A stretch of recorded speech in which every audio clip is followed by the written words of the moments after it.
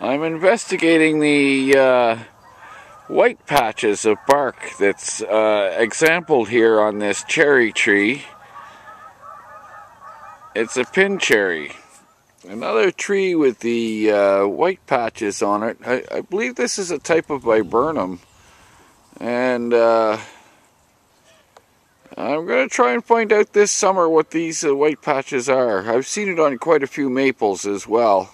And this uh, lilac that I have mixed in with a forsythia also has uh, these white patches on the bark that we're investigating today. And uh, this is a plum tree. And as you can see, the plum tree also has the same white patches on the bark. Silvery white patches.